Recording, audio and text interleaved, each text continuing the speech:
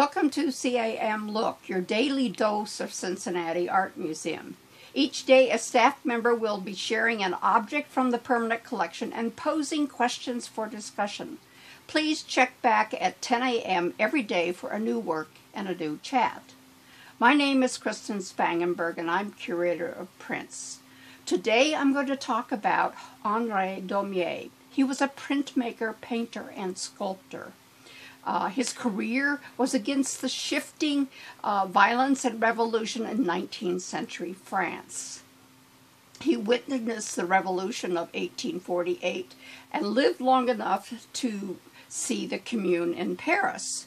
Between 1830 and 1870, he set the standard for political and social satire, producing over 4,000 lithographs. Lithography was a new technology. It had been discovered in 1798, and uh, it was being used in newspapers daily and weekly uh, to encourage the bourgeois masses to um, buy the newspaper. The, each day, uh, a different satire would appear. Uh, it was uh, an inexpensive technology.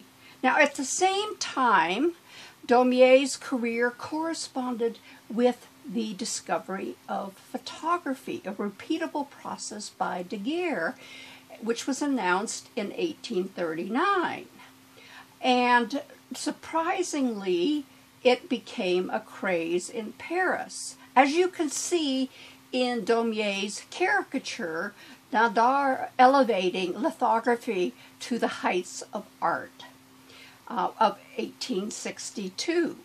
Note that he is photographing from a wicker balloon.